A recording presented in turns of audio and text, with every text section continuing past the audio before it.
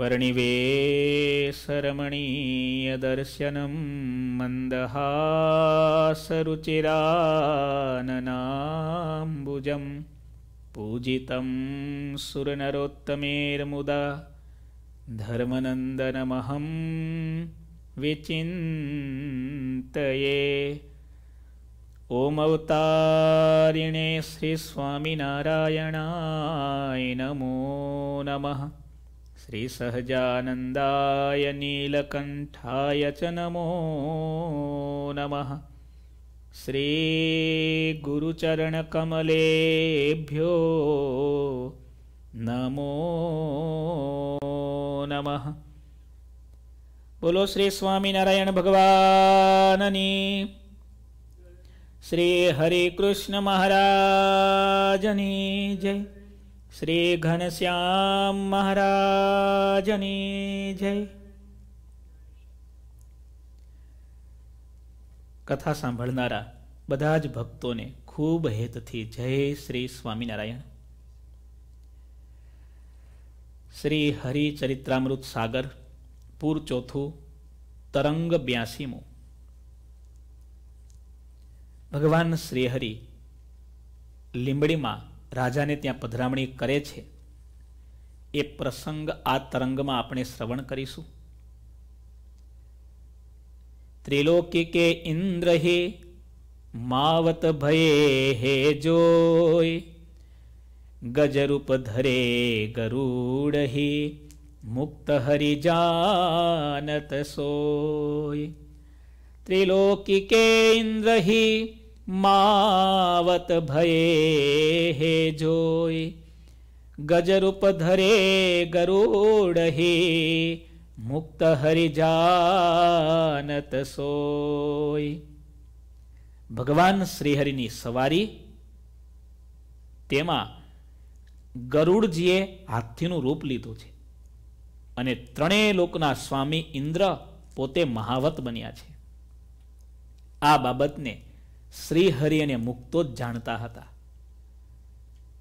જગતની સામાન્ય નજરમાં તો હાથી અને મહાવત જ દેખાતા હતા, પણ મહારાજ અને મુક્તો જાણતા હતા. આ હાથી નહીં, આ મહાવત નહીં, આ તો કોણ છે?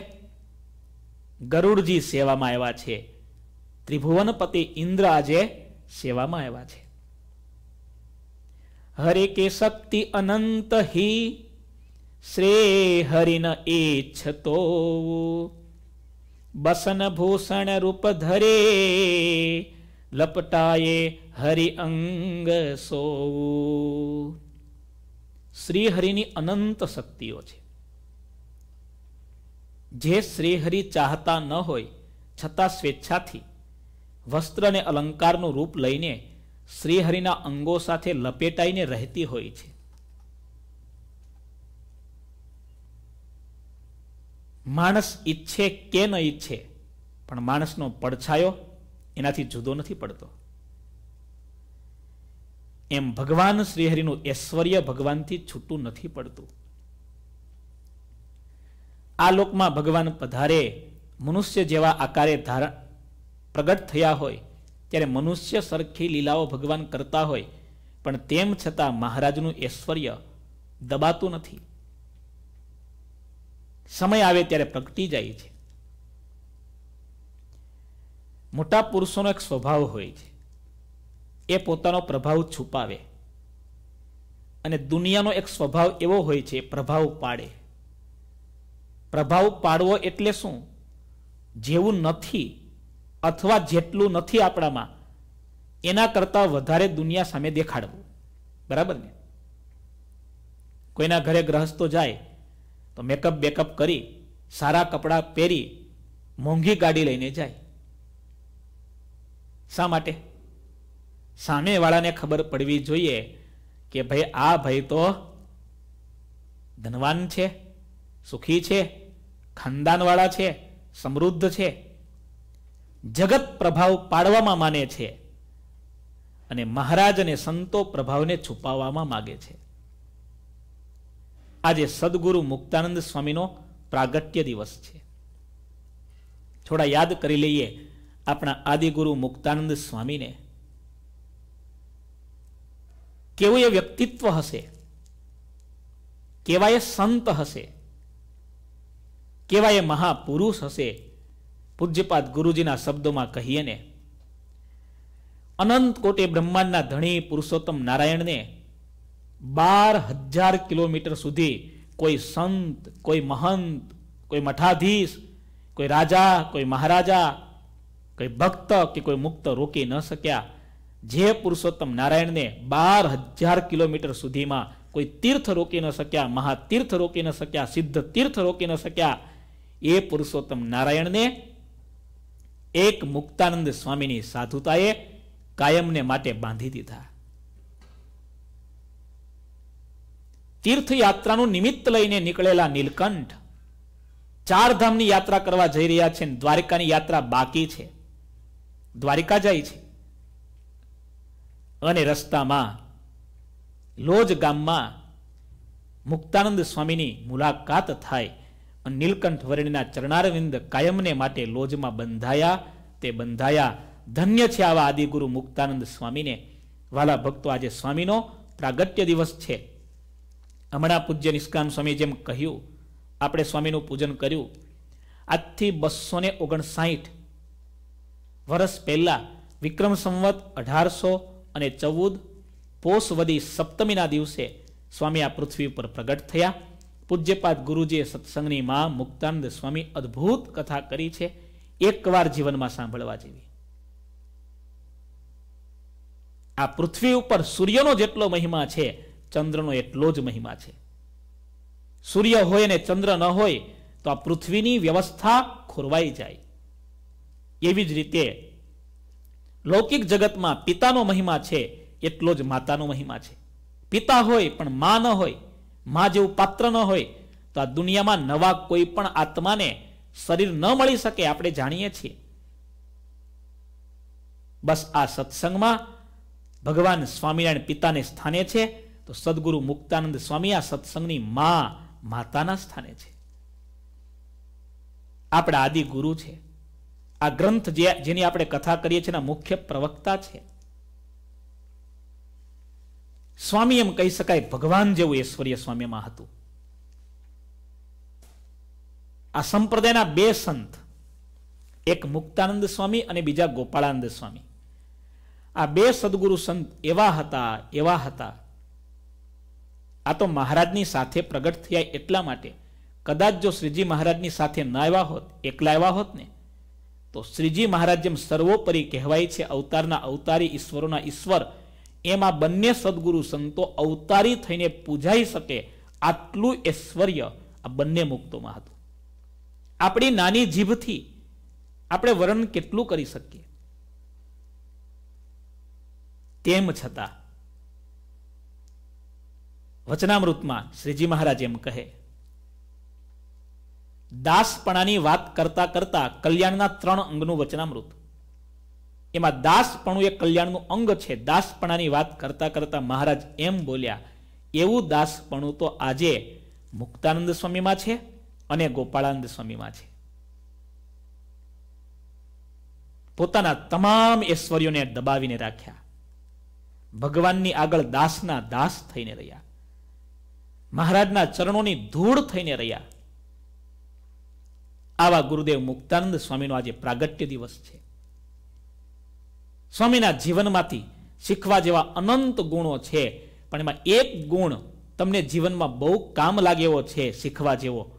આપણી પાસે છે ને, એ બધું દેખાડવા માટે નથી, એ ભગવાનની દયાથી મળેલું છે. એને સાચવવાનું છે. દંભમાં જીવનારી આજની દુનિયાને આ મેસેજ શીખવા જેવો છે. પ્રભાવ પાડવાની વાત ઓછી કરી નાખીએ. આપણે આપણા પ્રભાવને છુપાવીએ. કેવી સરસ વાત આવી. શ્રી હરિ કી શક્તિ અનંત હિ. શ્રી હરિ ન ઈચ્છે તો ભગવાન તો ઈચ્છા પણ નથી રાખતા. આ ઐશ્વર્ય પ્રગટ થાય. આ શક્તિઓ દેખાઈ આવે. તેમ છતાં એ ઐશ્વર્યો બધા આપોઆપ પ્રગટ થવા લાગે. આવી અનંત કથાઓ છે. પરચા એ પ્રભુનો પડછાયો છે. ભગવાન એને છુપાવા જાય છે, છતાં પાછળથી કોઈને પરચાઓ ઓટોમેટિક પકડાઈ જાય છે, દેખાઈ આવે છે. ગઈકાલની જે એક વાત કરું આશિત ભગત. અમે એટલાન્ટિક સિટી શાકોત્સવ કર્યો. શાકોત્સવ પૂરો થયો. હરિભક્તો બેઠા હતા. ચંદ્રકાંત ભગતના ઘરે, કાંતિભાઈ હતા, છીતુભાઈ હતા, ઘણા બધા ભક્તો હતા. એક સત્ય ઘટના ભક્તોએ વાત કરી. સ્વામી, આપણા મોટા પૂજ્યપાદ ગુરુજીનું કેવું ઐશ્વર્ય છે? એમના જ એપાર્ટમેન્ટમાં એમની બાજુમાં જ ઉભેલા એક ભાઈ મને નામ કીધું, પણ અત્યારે નામ સ્મૃતિમાં નથી. કથા સાંભળતા હશે બધા. સ્વામી, આ ભાઈનો દીકરો એટલાન્ટિક સિટીમાંથી મૂવ થયો Tampa Florida, Orlando Florida. Orlando જવા માટે બાય રોડે નીકળવાનો હતો. એપાર્ટમેન્ટના બધા માણસોને મળતા હતા, કંઈ ભેટ આપતા હતા.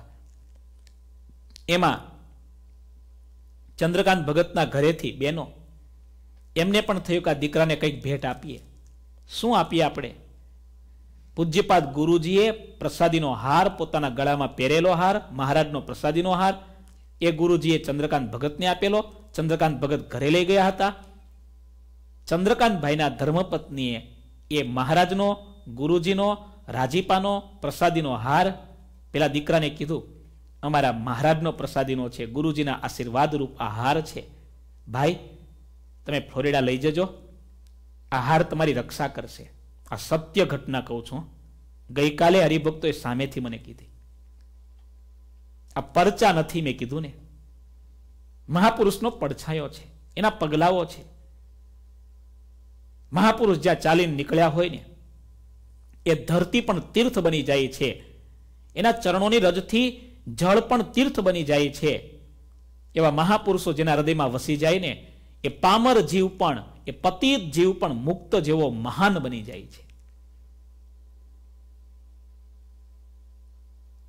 પથ્થરને પ્રભુનું પદ પામવાને તીણા ટાચણે ટીચાવવું પડે છે. કેવું સરસ કોઈ લખ્યું. પથ્થરને પ્રભુનું પદ પામવાને તીણા ટાંચણે ટીચાવવું પડે છે અને વાંસને વાંસળીનું પદ પામવાને શરીરે વિંધાવવું પડે છે. તમે જાણો છો લાંબી યાત્રા છે, કઠણ યાત્રા છે. પણ મહાપુરુષો જેના હૃદયમાં વસી જાય ને, એવા માનવને મુક્ત બનવા માટે બહુ ઝાઝો સમય નથી લાગતો. આપણે ગઈ સભામાં સાંભળ્યું ને, વૃત્તિ જ્યારે મૂર્તિ આકારે થઈ જાય આપણને કણે કણ કણમાં, ક્ષણ ક્ષણમાં મહારાજની મૂર્તિની અખંડ સ્મૃતિ થવા લાગે.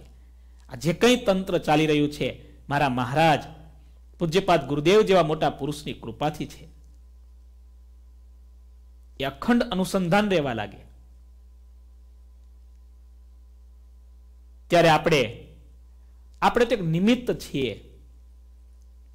કાર્યની મેતે થવા લાગે. એ હાર આપ્યો. પેલા દીકરાએ હાર લીધો, ગાડી લઈને બધો સામાન ભરી ફ્લોરિડા જવા માટે નીકળ્યા છોકરો. રસ્તામાં એટલો મોટો અકસ્માત થવાનો હતો. કયા કારણથી એ છોકરો બચી ગયો એ છોકરાને ખબર ન પડી. એની ગાડી બચી ગઈ. એને ત્યારે ને ત્યારે રસ્તામાંથી ને રસ્તામાંથી ફોન કર્યો. અને ફોનમાં એ ભાવ વિભોર થઈને કહેતો હતો. એ જ શબ્દો જે ગઈકાલે મેં સાંભળ્યા બધા કથામાં સાંભળે છે, ત્યાં બોલું છું. એ દીકરો એમ કહેતો હતો હું ભગવાનમાં માનતો તો નથી. આ બધી વાતમાં મને અંધશ્રદ્ધા દેખાય. પણ આજે મને વિશ્વાસ બેસી ગયો. તમે જ્યારે હાર આપતા હતા, તમે જ્યારે કહેતા હતા, ભગવાનનો પ્રસાદીનો છે, મારા ગુરુજીના આશીર્વાદનો હાર છે, ત્યારે પણ મારું મન એટલું બધું શ્રદ્ધાથી નહોતું જોડાયેલું. પણ એ હાર મેં સ્વીકારી લીધો, હાર મારી સાથે લઈ લીધો. આજે મારી રક્ષા આ હારને લીધે જ થઈ છે. મારા હૃદયમાંથી એક જ શબ્દ ઉઠે છે કે હું કેવી રીતે બચ્યો? અને અંતરમાંથી એક જ અવાજ આવે છે, આહાર લીધો ને એટલા માટે બચ્યો. ભલે તને શ્રદ્ધા નહોતી, પણ સ્વીકારી લીધું ને તે, એટલા માટે તું બચ્યો. ભલે તને ભગવાનમાં વિશ્વાસ નહોતો, પણ તે થોડો પણ ભાવ કમને પણ રાખ્યો ને, જોયું? એટલા માટે તુલસી અપને રામ કો રીજ ભજો, યા ખીજ, ભૂમિ ડારે નિકલેંગે ઉલટે સીધે બીજ.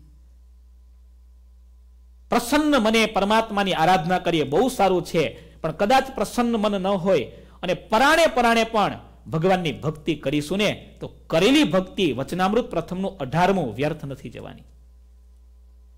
એ ભક્તિ પણ ઉગવાની. અંધારામાં સાકર ખાવ ને, તો ગળી જ લાગે. અને અંધારામાં ઝેર પીવો તો? મરી જ જાઓ. અરે ઊંઘમાં છો અને તમારા મોઢામાં સાકર આવે ને, તો પણ એ ગળપણનું જ કામ કરે. અને ઊંઘમાં છો ને, તમારા મોઢામાં કોઈ ઝેર નાખે ને, એ ઝેરનું જ કામ કરે. માટે વાલા ભક્તો આ કથા સાંભળીએ છીએ ને. જેટલા ભક્તો આ કથા સાંભળે છે, એને મારી એક જ વિનંતી, એક જ વિનંતી, બસ કથા સાંભળો. સમજવા પ્રયત્ન કરો. મંતવ્ય લખવા મહેનત કરો. યાદ રાખવા ટ્રાય કરો. કદાચ સમજાય નહીં. કદાચ યાદ રહે નહીં.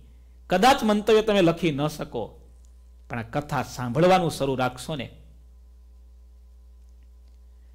જો કરતે રહેંગે, બહુ સરસ કોઈ બિહારી સંતનું આ ભજન છે. ભજન ધીરે ધીરે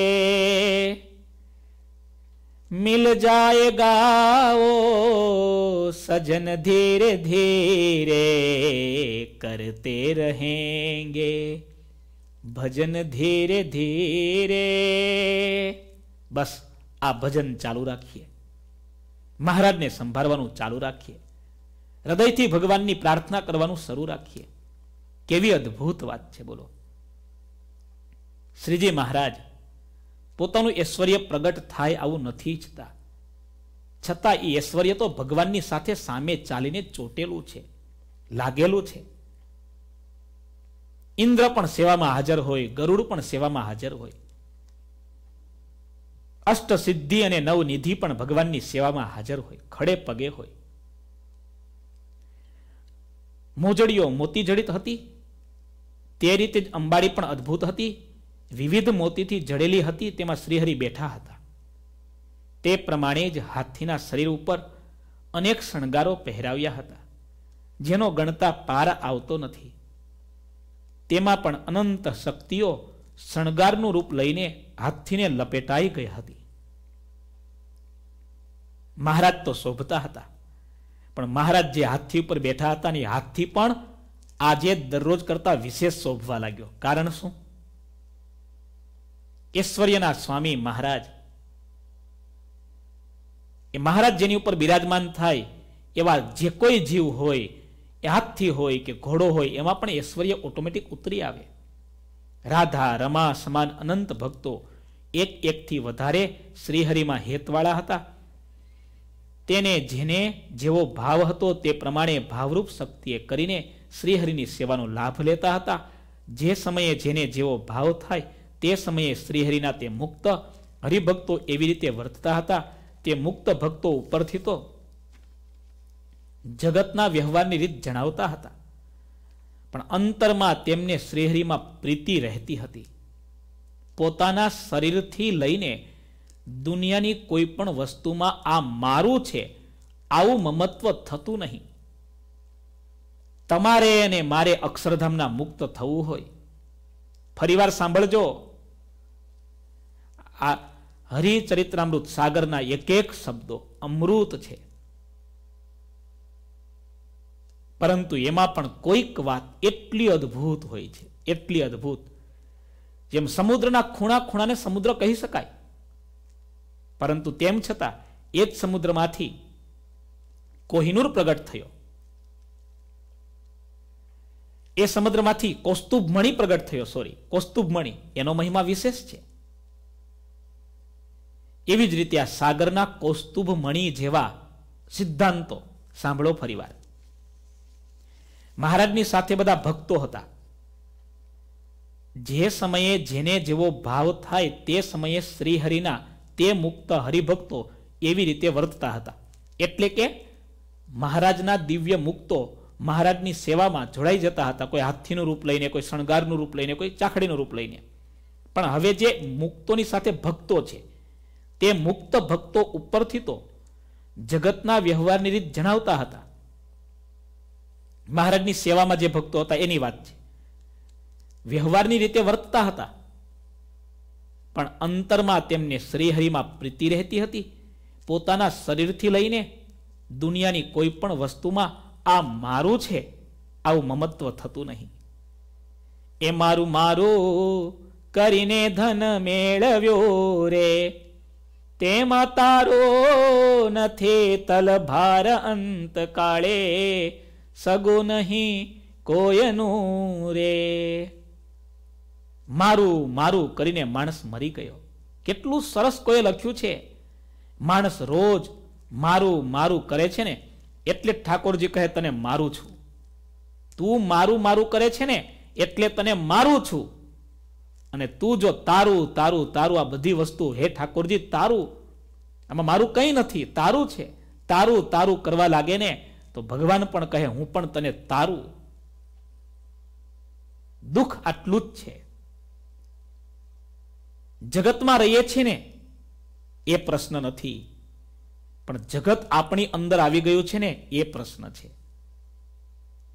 તમે સોનાની નગરી વસાવો, પણ દ્વારિકા બનાવજો. એમાં કૃષ્ણને રહેવાનું મન થાય. પણ તમારી સોનાની નગરી જો લંકા બનીને, તો હનુમાન આવવાના જ. તમને ઠાકોરજીએ સમૃદ્ધિ આપી હોય, તો દ્વારિકા જેવી નગરી ઊભી કરજો. અને ઝૂંપડું આપ્યું હોય, તો સુદામાના ઝૂંપડા જેવું ઝૂંપડું બનાવજો. સમૃદ્ધિ, વૈભવ, એનો વિરોધ નથી. પણ વિરોધ છે આસક્તિનો વિરોધ છે સંપત્તિઓ મેળવવા માટે આસક્તિ એ કરીને માણસ અનંત પ્રકારના પાપ કરે છે ને કુકર્મ કરે છે એનો. મારું મારું કરીને ધન મેળવ્યું રે. શું સાથે આવવાનું? તમે જુઓ છો, મેં હમણાં જ વચ્ચે કથામાં વાત કરી હતી. સ્ટીવ જો હમણાંની જ આ ઘટના. દુનિયાનો ધન કુબેર જેને ગણી શકાય. છપ્પન વર્ષની ઉંમરે કેન્સરમાં જ્યારે મૃત્યુને પથારીએ સૂતો હોય અને એણે પત્ર લખ્યો, દુનિયાને છેલ્લો મેસેજ આપ્યો. Last message to the world એણે જે લખ્યો છે, આપણે કથામાં વાંચ્યો હતો, તમે સાંભળ્યો હતો. એને આખી દુનિયા નિરસ લાગી. એને સમજાઈ ગયું, મેં આટલું ભેગું કર્યું, આમાં મેં મારા માટે શું ભેગું કર્યું? પસ્તાવો કરતા કરતા, નિશાસા નાખતા નાખતા એ માણસ મરે છે. જીવનમાં બસ કરવા જેવું હોય ને, આટલું જ છે. ભગવાનની ભક્તિ કરી હશે ને? અને પછી આપણા પ્રાણ જ્યારે નીકળતા હશે ને, એ ભક્તિ કરતા છૂટે મારા પ્રાણ. પ્રભુ, એવું માગો છું. આ કીર્તનની એક કડી બોલીએ ને આપણને મામા યાદ આવે. આપણે ગાઈએ છીએ અને મામાએ આ કડીને ચરિતાર્થ કરીને પોતાના જીવન દ્વારા આપણને મેસેજ આપ્યો. મામાનું વાલામ વાલું આ કીર્તન હતું. મને પણ ખબર છે. એકાદશીનો દિવસ હોય, સંતોનો સંગાથ હોય, ઠાકોરજી મહારાજ જોડે હોય, અને મામા અક્ષરધામમાં જાય, આ કઈ નાની ઘટના નથી. એ ભક્તિ કરતા છૂટે મારા પ્રાણ, પ્રભુ એવું માગું છું. તારો મુખડો મનોહર જોયા કરો. રાત દેવસ તારો કીર્તન કરો. બસ, મહારાજની કથા, કીર્તન અખંડ કર્યા કરશું. મહારાજની મૂર્તિના અખંડ દર્શન કર્યા કરશું. એક દિવસ તો આપણે પણ આવો અનુભવ કરીશું. બાકી આ દુનિયામાં અશાંતિ અશાંતિ ને અશાંતિ છે શું? જીવતા પણ માણસ હાય હાય કરે છે અને મરતા પણ માણસ હાય હાય કરે છે. કેટલી અદ્ભુત વાત કરી. લોકના વ્યવહારમાં વર્તતા હોવા છતાં પણ આ મારું છે એવી આસક્તિ નહોતી. કોઈક સંતની લખેલી આ વાત એટલી મને ગમી, એટલી ગમી. રસોઈ કોઈ પણ હોય. રસોઈ કોઈ પણ હોય, એ મીઠી તો જ લાગે, ચોટે નહીં તો.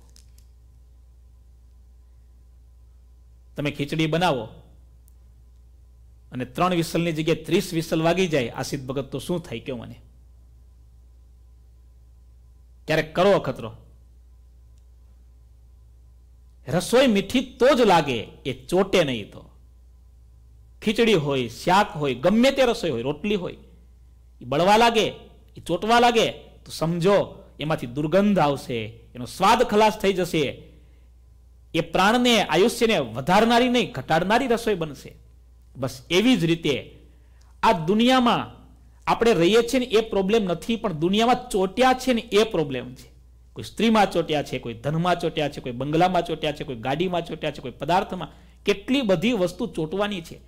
એક મૃગ કે કારણે ભરત ધરી તિન દેહ. કોઈ કેવું લખ્યું? પૃથ્વીના ચક્રવર્તી સમ્રાટ ભરતજી. વચનામૃતમાં મહારાજ એમ કહે, ભરતજીનું આખ્યાન જેવું ચમત્કારી છે, એવી બીજી કોઈ કથા ચમત્કારી નથી. ભગવાનના દીકરા છે, આખી પૃથ્વીના રાજા છે, અનંત સુંદર સ્ત્રીઓ, ગુણિયલ પુત્રો, અઢળક રાજ્ય સમૃદ્ધિ બધું હોવા છતાં બધું છોડી હિમાલયમાં જઈને તપ કરે છે. ગંડકી નદીના કિનારે, આજે પણ એ ગંડકી કિનારેની જગ્યા છે. નેપાળમાં પૂજ્યપાદ ગુરુજી સાથે મેં ગયા છીએ. હિમાલય ઉપર જઈને ઘોર સાધના કરે છે. એમાં એક દિવસ સવારના પહોરમાં નદીમાં ઊભા ઊભા ગંડકી નદીમાં અર્ઘ્ય અર્પણ કરે છે. એક દ્રશ્ય જોયું, એક હરણી, એની પાછળ સિંહ પડ્યો છે જંગલમાં. હરણી ભયભીત બનીને ભાગે છે. ક્યાં જવું એને સમજાતું નથી. પાણીનું મોટું એક ધોરિયો છે, પ્રવાહ છે. ત્યાં આવીને હરણી છલાંગ મારી જાય છે. હરણી તો ભયમાં ને ભયમાં કૂદી ગઈ, સામે કિનારે પડી ગઈ. પડેતાની સાથે મરી પણ ગઈ. એના પેટમાં બચ્ચું હતું. એ બચ્ચું પણ એ જ સમયે નદીના પ્રવાહમાં પડ્યું. સિંહ તો પાછો જતો રહ્યો. કારણ કે ભરતજી એક મનુષ્ય વચ્ચે જોયા. સિંહ પાછો વળી ગયો. સામે પડેલી હરણી મરી ગઈ. નાના બચ્ચાનું શું? ભરતજીને દયા આવી. દયા ખોટી નથી. ગુણ દોષ દૃશિર દોષ ગુણસ્તુભય વર્જિત. સદગુણ પણ વિવેક વિના સ્વીકારવામાં આવે તો દુર્ગુણ બની જાય છે. અને ક્રોધ વગેરે દુર્ગુણ છે, પણ વિવેકપૂર્વક, એના ઉપર કંટ્રોલ પૂર્વક જો એ પોતાના જીવનમાં રાખ્યા હોય ને, કોઈને ખબર છે? મારામાં ક્રોધ છે. ખબર છે ને? ક્રોધ એક દિવસમાં ટળવાનો પણ નથી. ઘણા એવા ડાયા માણસ હોય, એને ખબર છે મારામાં ક્રોધ છે. પણ એ ક્રોધને, એને લાગે ને મારો ક્રોધ હવે આવવાનો સમય છે, ત્યાંથી ઊભો થઈને જતો રહેશે. બોલશે નહીં. બે માણસો પૂછવા જાય તો કહે, જો ભાઈ, હું બોલું ને મારું ઠેકાણું નથી, એટલે તમે તમારી મેળ નિર્ણય કરી લો. ભલે એમાં ક્રોધ પડ્યો છે, પણ એને ખબર છે ને. વારંવાર કથામાં કહું છું, પોતાની ભૂલને શોધવી અઘરામ અઘરી છે. શોધ્યા પછી સ્વીકારવી એ એના કરતાં અઘરી છે. સ્વીકાર્યા પછી સુધારવી એ છેલ્લું સ્ટેજ છે. આપણે પહેલા સ્ટેજમાં તો આવીએ. આપણી ભૂલ શોધવાની તો શરૂઆત કરીએ. આપણી જાતને આપણે દૂધે ધોયલા માનીએ છીએ. આ કેટલી મોટી ભૂલ છે. મેં તમને કહ્યું હતું ને, માણસ હંમેશા પોતાની ભૂલની વકીલાત કરે છે અને બીજાની ભૂલનો એ જસ્ટિસ બને છે. આ મોટામાં મોટી મિસ્ટેક છે. પોતાની ભૂલની વકીલાત કરે છે. અને બીજાની ભૂલ હોય તો એનો ન્યાય કરે છે. એમાં નિર્ણાયક બની જાય, જસ્ટિસ બની જાય છે. બસ આપણે આ સુધારવાનું છે. શોધીએ, શોધ્યા પછી સ્વીકારીએ, સ્વીકાર્યા પછી એને સુધારીએ. ભરતજીને દયા આવી. દયા ખોટી નહોતી. આ બાળકનું કોણ? એની માં મરી ગઈ. આ જંગલમાં, વેરાન પ્રદેશમાં આ બાળકની શું દશા થશે? દયા સાચી હતી, દયા યોગ્ય હતી. બાળકને લીધું, પોતાની ઝૂંપડીમાં લાવ્યા. એને ખૂબ ધ્યાન રાખી એ બાળકનું જતન કરે છે, સાચવે છે, રમાડે છે. પણ આમ કરતાં કરતાં હવે બાળક મોટું થઈ ગયું. એ ભાગવા લાગ્યું, દોડવા લાગ્યું. એની પાછળ પાછળ ભરત દોડે. ગાંડા બની ગયા. બાળક તો હરણું હતું. એ તો જંગલના પશુ સાથે રહેવા રહેવા ટેવાયેલું હતું. એ હરણ ભાગી જાય. ન મળે તો ભરતજી ઝાડ સાથે માથા પછાડીને રડે. કહેવાય છે. એક મૃગ કે કારણે સ્ત્રીમાં બંધાણા રાજ્યમાં બંધાણા સમૃદ્ધિમાં ન બંધાણા વૈભવમાં ક્યાંય ન બંધાણા ભરતજી એ હરણાના બચ્ચામાં એવા આસક્ત થયા. હરણના બચ્ચાને યાદ કરતા કરતા માથું પછાડીને મૃત્યુ પામ્યા. એક મૃગ કે કારણે ભરત ધરી તીન દેહ ત્રણ જન્મ લેવા પડ્યા. તુલસી ઉનકી ક્યા ગતિ? ઘર ઘર કરત સ્નેહ. એક એક મૃગલામાં હેત કરીને ત્રણ જન્મ લેવા પડે, તો આ દુનિયાના કરોડો મૃગલામાં બંધાયેલા છે, કરોડો પદાર્થમાં બંધાયેલા છે, એની શું દશા થશે?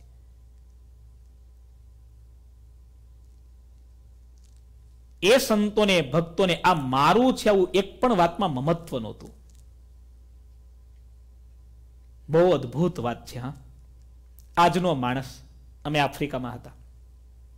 એક સારા હરિભક્ત અમારી સાથે નૈરોબીથી મેરુ વિચરણ કરવા આવ્યા. સાત આઠ ભક્તો હતા, ત્રણ જેટલી ગાડીઓ હતી. બધા એવા ભક્તો, પણ એમાં બીજે દિવસે સવારે એક હરિભક્ત વહેલા સવારે તૈયાર થઈ નીકળવા તૈયાર થયા. અમે કારણ પૂછ્યું, ભગત, કઈ મુસીબત, તકલીફ તમે સામે ચાલીને આવ્યા હતા? નિશાસો નાખીને એમણે કહ્યું, સ્વામી, મારે એક ખોટી ટેવ એવી છે. મારા ઘરમાં મારો જે બેડ છે, એના ઉપર જ મને ઊંઘ આવે, બીજે ક્યાંય ઊંઘ ના આવે. બોલો. આને શું કહેવાય? વસ્તુની આસક્તિ. વ્યક્તિની આસક્તિ. પૂજ્યપાદ ગુરુજી સાથે એક હરિભક્ત અમેરિકા આવ્યા. ગુરુજીને મૂકવા માટે છેક ઇન્ડિયાથી અમેરિકા આવ્યા. હું તમારી સાથે રહીશ. અમેરિકામાં બધી જગ્યાએ વિચરણમાં આવીશ. પાછા આપણે જોડે આવીશું. થોડા જ દિવસમાં રાત્રે રડે ગુરુજીએ જોયું, આવા મોટા ભગત અડધી રાત્રે રડે છે. પૂછ્યું કારણ? ખબર પડી. બસ ગુરુજી, દુઃખ કોઈ નથી. મને બબલાની બા યાદ આવે છે, લો. આને શું કહેવાય? આસક્તિ. સ્વામી રામકૃષ્ણ પરમંશને એકવાર સ્વપ્નમાં પત્ની આવે છે. આવું એક ચરિત્ર છે એમનું. પરમહંસજી તો કેટલા જાગૃત હતા. ખબર પડી ગઈ.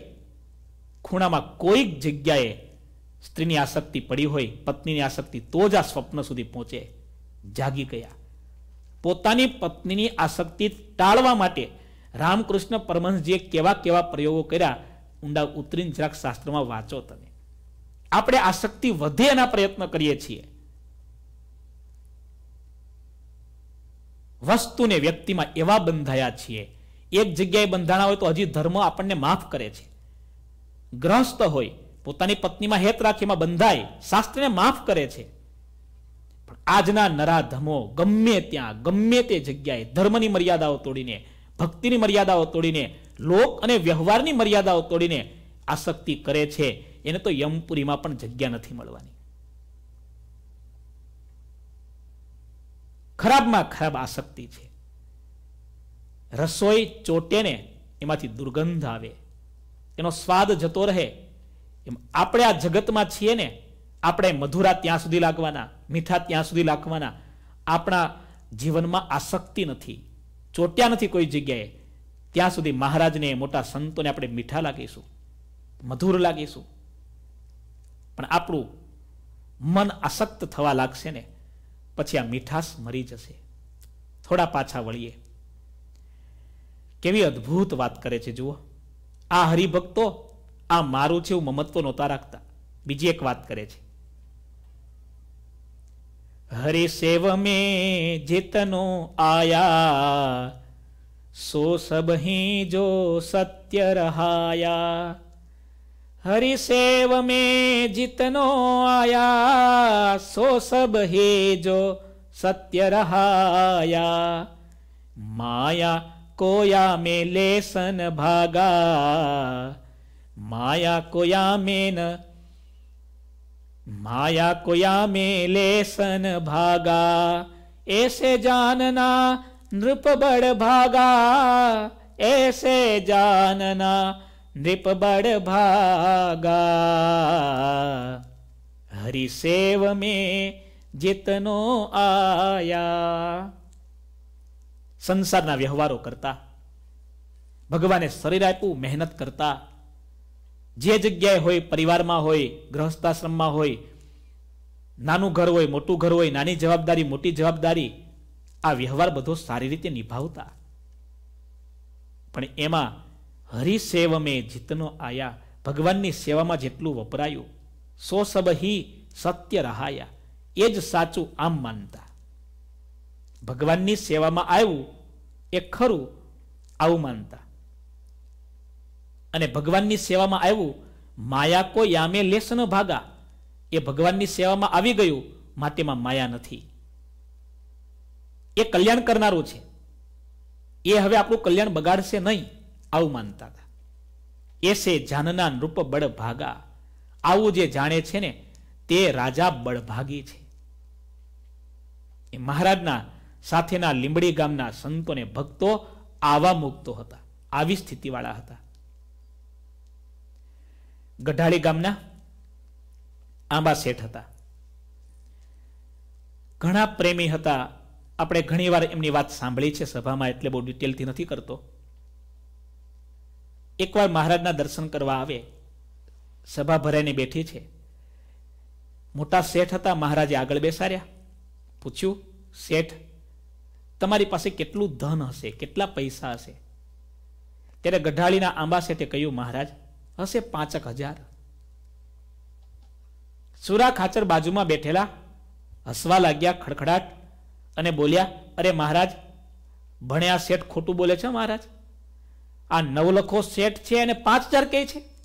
એને ડર લાગે છે, વાણીઓ છે ને જાતનો? એને એમ છે, વધારે કેસું તો મહારાજ માગશે, આપવા પડશે, એટલે કેટલું ઉતારીને બોલે છે?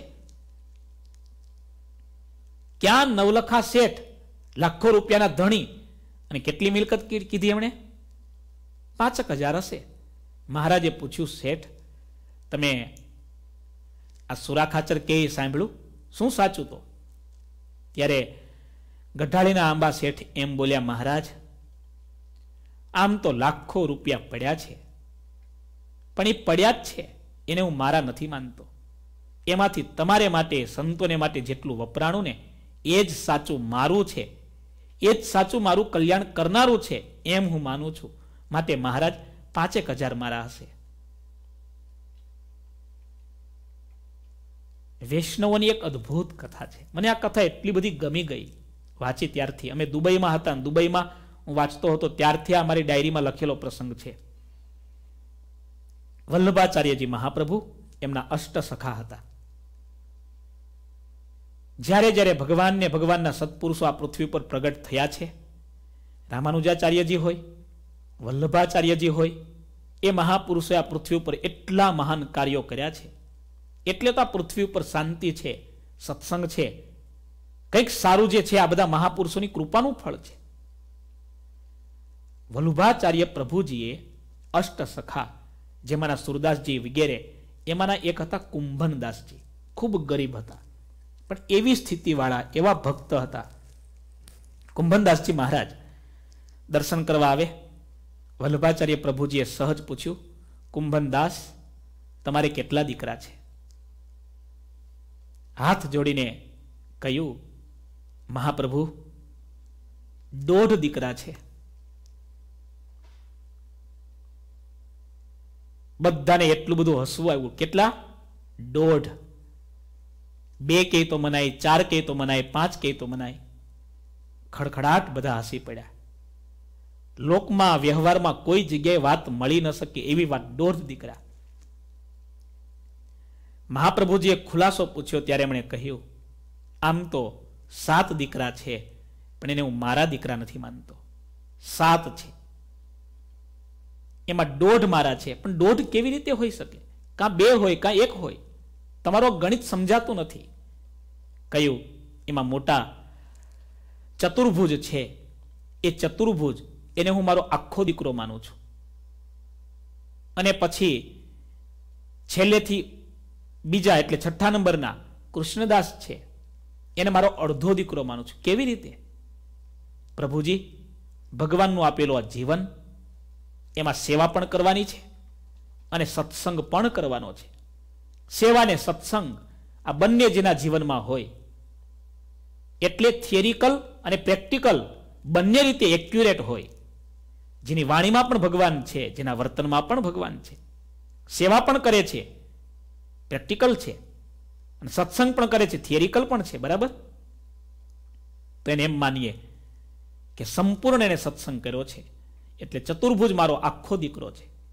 સત્સંગ પણ કરે છે, સેવા પણ કરે છે. નાનો કૃષ્ણદાસ સેવા ખૂબ કરે, પલાઠી વાળીને સત્સંગ સેવા પૂજા નથી કરી શકતો, ભગવાનનું ધ્યાન નથી કરી શકતો. મહાપ્રભુજી, એને હું સમજાવું છું, પણ હજી એ સમજતો નથી, એટલે મારો અડધો દીકરો માનું છું. દોઢ દીકરા છે મારે. હવે તમે બધા સભામાં બેઠા છો, કથા સાંભળો છો. બોલો, કેટલા આપણા છે? વિચારો. કેટલા નીકળે? વિચારો. જો કે આ તો લોયાધામ પરિવાર છે, હજી સારું છે કે તમારા દીકરા સત્સંગી છે. આપણે કેટલી સરસ બાળ યુવા શિબિરની પ્રવૃત્તિ અત્યારે ચાલે છે. નાના દીકરાઓમાં જે સંસ્કાર આવી રહ્યા છે. નાના દીકરાઓ આ વખતે મેં બેઠા હતા. પાંચ વાર માનસી પૂજા કરનારા ધર્મનિયમ પાળનારા પૂજાપાઠ કરનારા, બારની એક પણ વસ્તુ ન ખાનારા દીકરાઓ અત્યારે લોયાધામમાં ઢગલો છે. અરે આપણા લોયાધામમાં એવા દીકરાઓ છે, અત્યારે નાના, કે જેનો જન્મ થયો, સવા મહિનાના થાય, મંદિરમાં આવતા થયા, ત્યારથી રોજ કથા સાંભળે છે, બોલો. આપણા સુરેશ ભગતનો નાનો વ્રજ, અમર ભગતનો દીકરો. એ તો જન્મ થયો ત્યારથી એને એકાદશી દિવસે અનાજ જમાડ્યું જ નથી, બોલો. એકાદશીના દિવસે નાના બાળકને અનાજ નથી જમાડ્યું. આપણને થાય. સૂચિનામ શ્રીમતામ ગેહે યોગ ભ્રષ્ટો ભીજાયતે શાસ્ત્રોમાં લખ્યું છે એ પ્રમાણે પવિત્ર માતા પિતાને ત્યાં જન્મ, અનંત જન્મોના જેના પુણ્ય હોય એને જ મળે છે.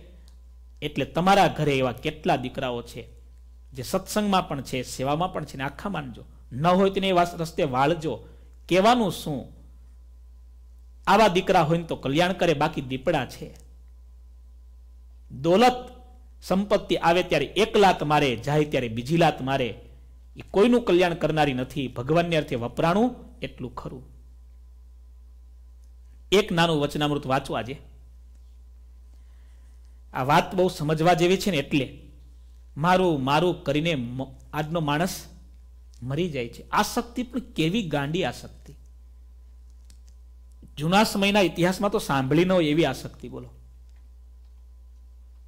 બ્રુનેઈના સુલતાનને ગાડી ભેગી કરવાની ઈચ્છા છે.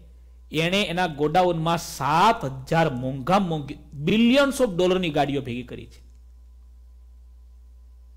કહેવાય છે એની પાસે ગાડી જોવાનો બેસવાનો ટાઈમ નથી, બોલો. કેવી ગાંડી આસક્તિ? આટલા રૂપિયા લોકો માટે વાપર્યા હોય તો.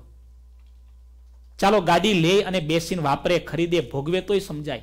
લોભીનું ધન ભોગવવા માટે પણ કામ નથી લાગતું. લોભીનું ધન કોઈના કલ્યાણ માટે પણ કામ લાગતું નથી. લોભીનું ધન મધમાખીના પૂડા જેવું છે. એક દિવસ જેમ શિકારી આવે અને મધમાખીને ઉડાડી બધું મધ લઈ જાય, એમ એક દિવસ કાળરૂપી શિકારી આવશે અને લોભીને ઉપાડી જશે. એનું ધન પડ્યું રહેશે એ ગમે ત્યાં જતું રહેવાનું. પાણીને પૈસો ભેગો કર્યો એટલે દુર્ગંધ જ આવવાની. પાણીને પૈસો જ્યાં ભેગો થયો ત્યાં પાપ જ થવાનું.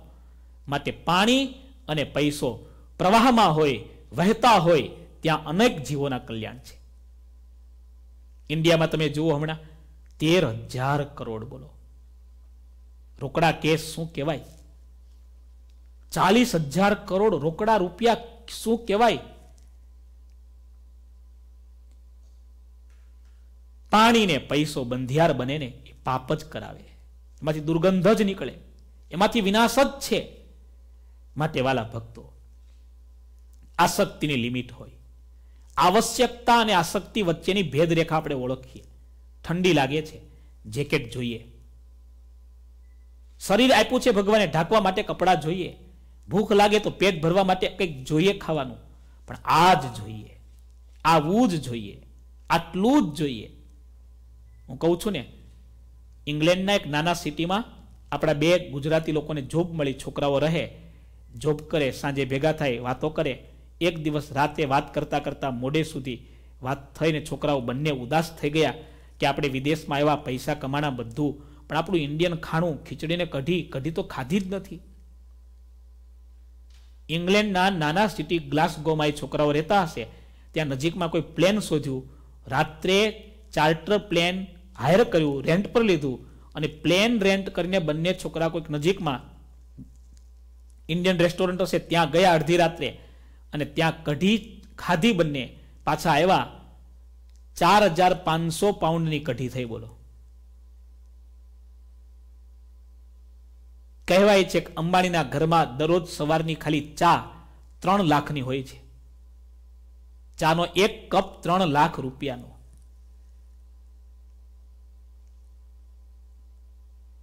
આ આસક્તિ પાપ કરાવનારી છે. એ એક પાપને અનેક પાપ કરાવે એટલે તો ગુણાત્યાનંદ સ્વામીએ કહ્યું કે ગરીબ આખી જિંદગીમાં પાપ ન કરે ને એટલા પાપ આ ખંડેરાવ એક દિવસમાં કરે છે. પાપ કરવા માટે પૈસો લોકોને પ્રેરે છે. એટલા માટે તો સ્વામીએ કહ્યું, આ વડોદરાનો દિવાન એ મૂરખ છે કે આટલી શક્તિ સમૃદ્ધિ સાહેબી મળ્યા પછી પાપ કરે છે. દિવાન એ મૂરખ છે. અને નાથજી ભક્ત બે આના પગાર હતો. આ નાથજી ભક્ત ભલે બે આના પગાર છતાં બુદ્ધિવાળા છે. કારણ કે મનુષ્ય દેહ કરીને જે કરવા જેવું હતું એ કરે છે. કોણ ડાયો ને કોણ મૂરખ એ આપણે આપણી જાતે જ નક્કી કરીએ છીએ. એ જ પ્રોબ્લેમ છે. ભગવાનની દ્રષ્ટિએ સુદામા હોય ને એ ઘણીવાર ડાયો બની જાય. દુબળી ભટ્ટ જેવો હોય ને એ ઘણીવાર ડાયો બની જાય. માટે આવશ્યકતા એ જીવનની જરૂરિયાત, એ જરૂરિયાત જ છે. ભગવાને શ્રેય આપ્યું છે, પુરુષાર્થ કરો, મહેનત કરો, પ્રામાણિકતાથી. ભગવાને પ્રારબ્ધમાં લખ્યું, તમારા બંગલા મોટા થાય, અપાર સમૃદ્ધિ થાય. આપણે ત્યાં વૈદિક મંત્રો કેવા સરસ છે. સ્વસ્થ્યસ્તુ તે કુશલમસ્તુ ચિરાયુ રસ્તુ ગો વાજી હસ્તી ધન ધાન્ય સમૃદ્ધિ રસ્તુ. આશીર્વાદના મંત્રો તો જુઓ, તમારું કલ્યાણ થાય. તમારા ઘરમાં ઘોડાઓ, હાથીઓ, સમૃદ્ધિ, લક્ષ્મી, વૈભવ, વિલાસ વધતો જ રહે. પણ આ બધું પ્રામાણિકતાથી. આ શક્તિ થી જ્યારે કરીએ છીએ, એ પાપ કરવા પ્રેરે પણ ભગવાને શરીર આપ્યું છે પુરુષાર્થ કરીએ, હવે બિલ ગેટ્સ ઊંઘી જાય તો એના પૈસા ઓછા ન થાય. પણ એ વાપરે છે. લોકોના કલ્યાણ માટે કેટલું બધું વાપરે છે. વરણ બફેટ કેટલું બધું વાપરે છે. અને ભગવાન સામેને આપે છે પણ એટલું. માટે વચનામૃતમાં મહારાજને મધ્ય પ્રકરણનું વચનામૃત બાસઠમું. મહારાજના શબ્દો વાંચું છું. પછી રઘુવીરજીએ પ્રશ્ન પૂછ્યો, હે મહારાજ, આ જીવનો મોક્ષ કેમ કરે ત્યારે થાય છે? ત્યારે શ્રીજી મહારાજ બોલ્યા છે, જેને પોતાના કલ્યાણની ઈચ્છા હોય તેને પોતાનું દેહ, ધન ધામ, કુટુંબ, પરિવાર એ સર્વેને ભગવાનની સેવામાં જોડી દેવા. અને ભગવાનની સેવામાં જે પદાર્થ કામ ન આવે, તો તેનો ત્યાગ કરી દેવો.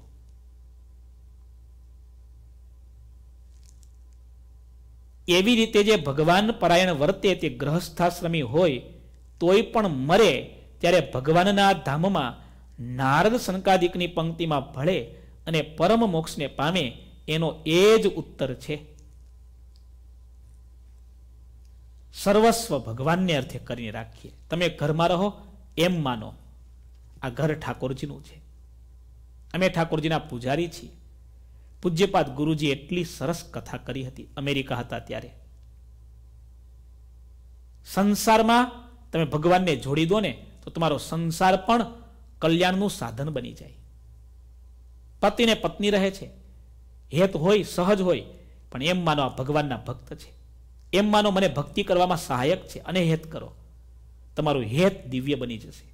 કલ્યાણ કરનારું બની જશે. પુત્ર અને પુત્રીમાં હેત હોય, પણ ઠાકોરજી આ બાળકો અમને આપ્યા છે. ઠાકોરજીની મિલકત છે. અમે એને સંસ્કાર આપી મહારાજ સુધી પહોંચાડી દઈએ. આમ માની તમે હેત રાખો. ગમે એટલા લાદ લડાવો, પણ તમારું હેત કલ્યાણ કરનારું છે. ખૂબ સરસ આ બે વાત. વ્યવહારની રીતે રહેતા હતા. છતાં શરીરથી આ દુનિયાની કોઈ વસ્તુમાં મારું છે, આવું મમત્વ આસક્તિ નહોતા રાખતા. ભગવાનની સેવામાં જે વપરાયું, એને જ સાચું પોતાનું માનતા હતા. કારણ કે એમાં માયાનો ભાગ નથી, એ કલ્યાણ કરનારું છે. કલ્યાણમાં બાધક નહીં બને, એમ માનતા હતા. અને આવું જે સમજે છે ને, એ જ બળભાગી છે. ખૂબ સરસ આ વાત આજે આપણે સાંભળી. સદગુરુ મુક્તાનંદ સ્વામીનો બસો ને ઓગણસાઠમો પ્રાગટ્ય દિવસ છે. સ્વામીના ચરણોમાં વંદન કરીએ. આવા મહાન સંતને આપણે હૃદયથી સંભાળીએ, તો પણ આપણું અતિશય રૂડું થાય. સ્વામીના ચરણોમાં આપણે હૃદયથી, આપણા હૃદયના ભાવથી વંદન કરી પ્રાર્થના કરીએ. સ્વામી, આપ જેમ મહારાજને અતિ વાલા બન્યા. બસ અમારું જીવન પણ એવું દિવ્ય, એવું મધુર. મહારાજને ગમે એવું, પૂજ્યપાદ ગુરુજીને ગમે એવું. અતિ દાસત્વપણું અમારા જીવનમાં આવે. અમારા જીવનમાં દિવ્યતા આવે. એવી સ્વામીના ચરણોમાં પ્રાર્થના કરી આજની સભાને પૂરી કરીએ છીએ. બોલો ઘનશ્યામ મહારાજની જય. શ્રીપતિમ શ્રીધરમ સર્વદેવેશ્વરમ ભક્તિધર્માત્મજમ વાસુદેવમ હરે. માધવમ કેશવમ કામદમ કારણમ સ્વામિનારાયણમ નીલકંઠમ ભજે. ઘનશ્યામ મહારાજ